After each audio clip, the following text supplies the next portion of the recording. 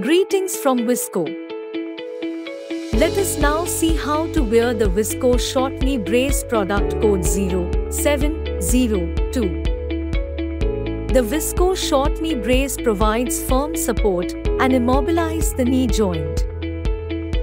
It is used in case of post-total knee replacement operation, post-patellar dislocation, and protection of the knee joint in case of emergency.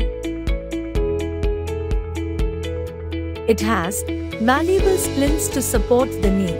It is made up of skin-friendly and breathable material and is 100% latex-free. For the product to be most effective, it is important to select the right size. Take a measuring tape and measure the circumference around the thigh.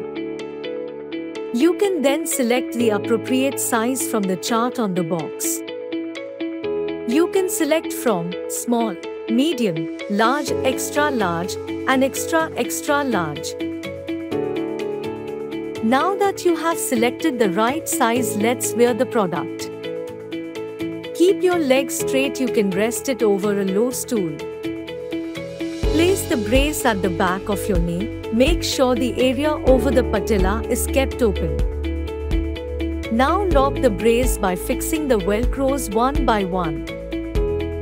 Make sure the brace is fitted snugly and is not loose.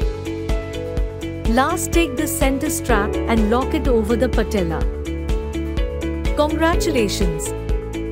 Your Vissco short knee brace is now ready to use.